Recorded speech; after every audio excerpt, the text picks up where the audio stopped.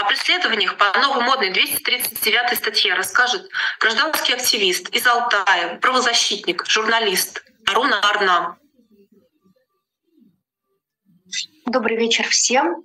Все сейчас слышали, какие действительно проблемы существуют в России, и их огромное количество. И, к сожалению, с каждым годом эти проблемы растут и обостряются. И, естественно, это не может вызывать, а, не вызывать возмущения нормальных, честных, адекватных людей и не может не вызывать негодования и желания со стороны тех же журналистов э, находить правду, истину, расследовать какие-то дела, разбираться и давать эту правду, истину людям. Но с каждым годом для того, чтобы осуществлять эту деятельность, приходится просто проходить какой-то ну, а, адовый труд и адовые э, условия, потому как законодательство России все больше и больше ужесточается в сторону преследования, в сторону а, как можно большего запрета для ведения такой деятельности и закрытия рта всем, кто говорит о проблемах, всем, кто озвучивает, всем, кто пытается защитить свои права и права своих сограждан. Это просто такая уже, знаете, настолько вопиющая стала система подавления, что о ней молчать в принципе нельзя. Если раньше за журналистскую, за активную позицию было модно давать людям 282 статью экстремистскую, вы, наверное, все про это знаете и слышали, и когда вплоть до того, что лайки, комментарии какие-то оценивались по 282 людей просто сажали, э, давали реальные сроки за какие-то слова. С 2018 года, как только настолько возмущение людей выросло, что они стали говорить о том, что надо прекращать вообще в принципе применять эту статью. Эта статья была декриминализирована, но были придуманы другие способы, как можно ограничить журналистов, как можно ограничить общественных деятелей, как можно ограничить целые организации в их правозащитной, нормальной, просто адекватной общественной деятельности. И вот здесь, знаете, у меня тоже такой вот логический вопрос. У нас как система говорит, ребят, если вам что-то не нравится, пожалуйста, говорите, у нас же свобода слова, у нас же демократия, пожалуйста, вы имеете право защищать э, себя, конечно но при этом при такой красивой игре на самом деле происходят ужасные вещи. То есть за слова, за эту самую свободу слова уже применяют новые статьи. Тот же самый закон о дискредитации армии, который закрыл рот всем, что даже нельзя озвучить проблемы, которые есть у нас в армии, которые есть у нас в насущной нашей жизни, связанные с подготовкой, с реабилитацией и так далее мы не можем сейчас говорить о чем-то, что противоречит официальной версии тех же самых государственных органов. Даже если это наше мнение и эта наша позиция подтверждена научно, нам сразу приписывают статью о фейках, Понимаете, то есть если ты даже, даже, даже если ты предположил, даже если у тебя нет позиции, но ты предположил что-то, что идет в разрез, тебе также могут прописать и статью о фейках. А вы знаете, ведь штрафы за эти статьи — это 30 тысяч более.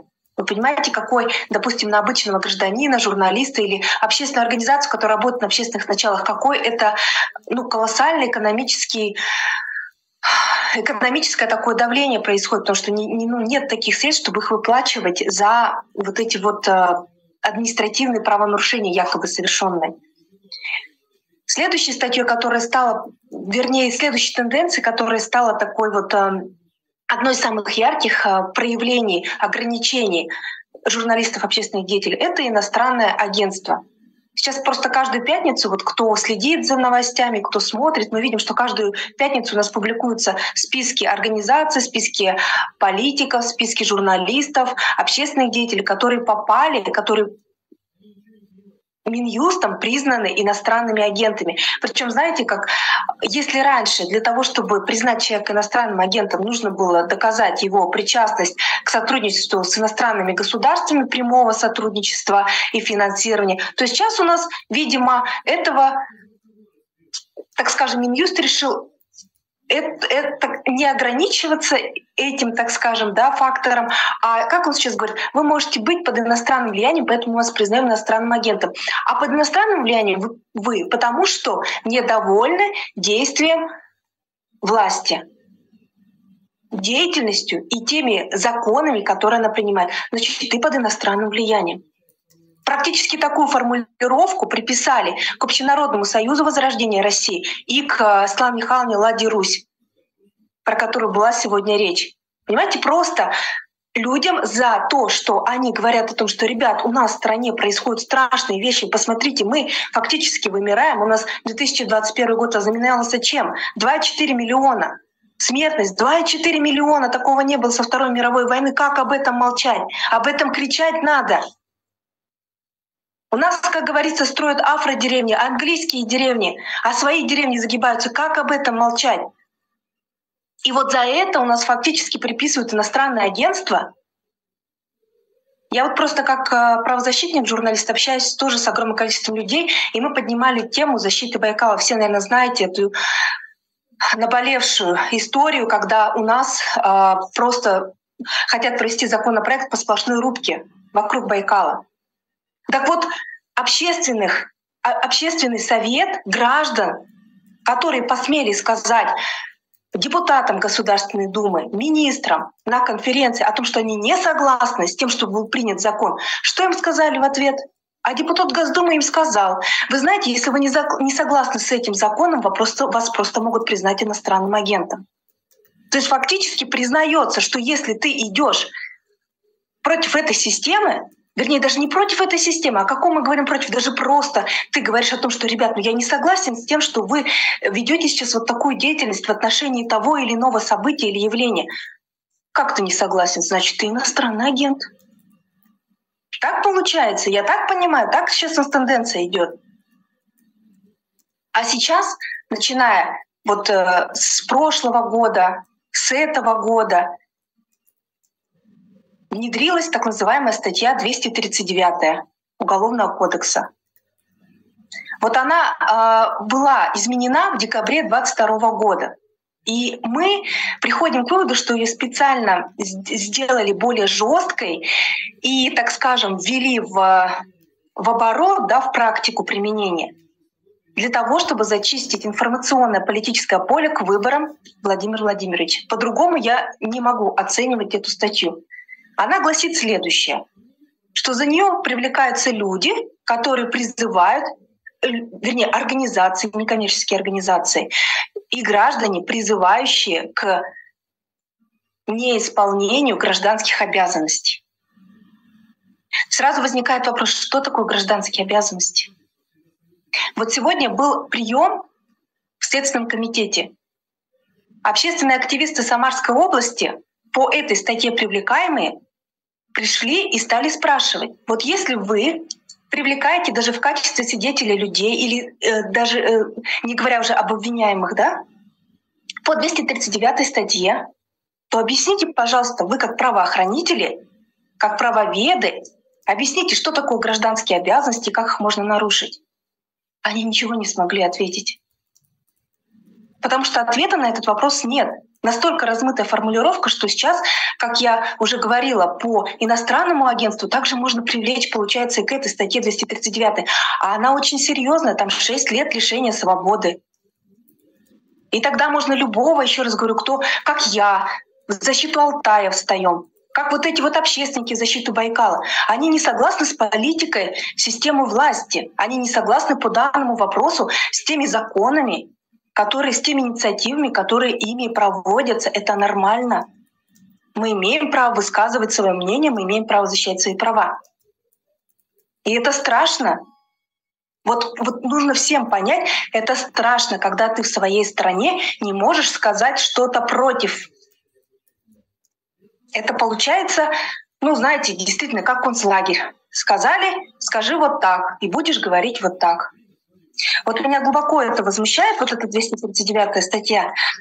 Она была, э, я прям назову даже фамилии тех людей, которые так скажем, депутаты Госдумы, которые инициировали ужесточение данной статьи и которые, э, э, так скажем, благодаря которым она фактически была изменена и вот вводится сейчас активно в практику. Это а, Пискарев, Валеев, Альшевских, Делягин, Луговой, Чемерис, Бутина, Леонов, Матвейчев, Ревенко, Савельев, Ткачев, Шагошев, Выборный, Лантратова. Вот если пройтись по каждому из этих депутатов, то можно очень много интересного узнать. Вот я просто о некоторых даже озвучу. Та же самая Мария Бутина, которая лоббировала этот закон против, я считаю, против антинародной, против народа России. Кто она такая вообще? А она в 2017 году сидела в американской тюрьме. А до этого времени, как пишут да, в открытых источниках, являлась ну, вроде как тайным агентом, которая, как опять пишут в открытых источниках, за секс предлагала дать ей определенные места в определенных организациях. Ну, грубо говоря, зарабатывала телом. И вот когда в 2018 году она попала в американскую тюрьму, чтобы избежать срока заключения, ей очень серьезный срок грозил, она пошла на сделку со следствием. То есть, будучи, как это пишут СМИ, агентом под прикрытием, то есть она имела доступ э, к тайнам государственным России. Что она там рассказала? Каких она выдала наших людей? Какую информацию выдала? И после этого ее спокойно отпускают. Видимо, много чего она рассказала, раз ее спокойно отпустили. И в 2019 году она переезжает в Россию. После чего становится благополучным депутатом Госдумы. То есть нормальные люди попасть туда не могут. Мы сами знаем, как выборы проводятся. А Мария Бутина, пожалуйста, пришла в Госдуму и инициировала а, э, одна из ее, так скажем, трудовых ну, так скажем, достижений — это инициировать вот эту статью 239, изменение, внесение изменений в эту статью. Матвейчев, депутат, а он вообще известен нам, Алтай, очень близко, потому что буквально в прошлом году, в конце прошлого года, на конференции он проговорил такие слова, что наш Алтай, отдых здесь должен быть доступен только для миллионеров и миллиардеров. И тоже ведь никто не возмутился, почему такая, так скажем, дискриминация по социальному статусу, по экономическим возможностям. Альшевский, достаточно известный депутат, вообще известная личность в Екатеринбурге, Свердловской области. Как в открытых источниках пишут, в свое время он имел отношение, мог иметь отношение к банде Уралмаш. То есть это когда в 90-е вот эти все были группировки преступные. И, кстати, в 2020 году его брата Владимира Альшевского привлекли к ответственности, он стал фигурантом дела, когда поймали банду, занимавшуюся кражей имущества из банковских ячеек. Ему дали 4 года, но в 2022 году он вышел по УДО. Понимаете, то есть какая у него э, неоднозначная биография, неоднозначные связи. Он депутат Госдумы, и он также принимает, инициирует изменения, внесение изменений в 239 статью Уголовного кодекса, тем самым, а, так скажем, запуская вот этот механизм привлечения к ответственности нормальных граждан, и сидит себе спокойно в Госдуме. И вот можно по каждому пройтись. Да это что такое-то? Это мы вообще сколько будем терпеть-то? Это кто вообще нами управляет? Кто-то сидит в теплых креслах, принимает такие решения, а потом страдают. Еще раз сказала, журналисты, общественные деятели, целые организации. Общенародный союз Возрождения России, на который завели уголовное дело по статье 239. Ведь это движение объединило людей со всей страны. Понимаете, советы, общественные организации со всей страны в защиту себя, своих родных, прав людей на местах по всей России. Вот я сейчас, мне пишут люди, которые сталкиваются с проблемами а, своих родственников, которые на специальной военной операции. А раньше существовала организация Совет матерей и жен когда-то, да? Очень сильная организация, которая держала в тонусе Министерство обороны, управление различными да, военными округами, которые проделали большую работу. И вот Эту организацию фактически, можно сказать, ликвидировали, признав ее также иностранным агентом. И сейчас ее нет. И людям даже обратиться некуда. И вот они по одному сидят, со своими вопросами мучаются, куда идти. Вот ОСВР — это такая же площадка для людей, которая давала возможность объединения, которая давала возможность, так скажем, на законном основании абсолютно в правовом поле отстаивать свои права. И что будет, если мы потеряем такие общественные организации? Что будет, если мы потеряем таких общественных деятелей, как Слава Михайловна Ладарусь, как других общественных деятелей в регионах, которых сейчас также привлекают по статье 239? Меня, например, свидетелем по статье 239 сейчас привлекают. Можете представить? По-моему, это будет ужасно. Если уберут активную часть населения, что мы будем делать? Журналистов сейчас привлекают по 163 статье вымогательства. Да, мы знаем громкое дело Александры Боязитовой, которая опубликовала, вернее, публиковала в своем телеграм-канале расследование по различным вопросам, в том числе по Александру Ушакову, это топ-менеджер Промсвязьбанка который за то, что опубликовали информацию абсолютно открытую, в принципе, которая общественно значимая, он э, подал в суд и якобы с тем, что через вот эти вот публикации та же самая Байзитова требовала у него деньги за то, чтобы удалить эти публикации. Как я изучала это дело, то есть там фактически нет доказательств данного акта, что она просила деньги. Ну, Ушак, по словам Ушакова, это было. И человека посадили на 5 лет. Хотя срок тоже ей давали и 14 лет. Айдар Камалединов, по 163 вымогательство — также журналист, за то, что он расследовал дело мародеров касаемо Слава Михайловны Ладырусь, да, его фактически, ну вот сейчас уже, получается, третий год держит в СИЗО. То есть честные, смелые люди в нашей стране есть, слава богу, остались. И они продолжают защищать права и продолжают нести нам правду. Но если вот эта репрессивная машина продолжит свою работу, мы лишимся таких людей, мы лишимся защиты. И тогда все вот эти проблемы, которые были до этого озвучены, они просто не будут решаться. И каждый из нас может оказаться без света, без тепла, без врачей, без образования. Давайте этого не допустим. Очень прошу вот и жителей России, и жителей своего региона, чтобы мы понимали, к чему все идет, встали на защиту честных людей, потребовали ликвидации статьи 239 потребовали прекратить преследование в отношении честных, нормальных людей.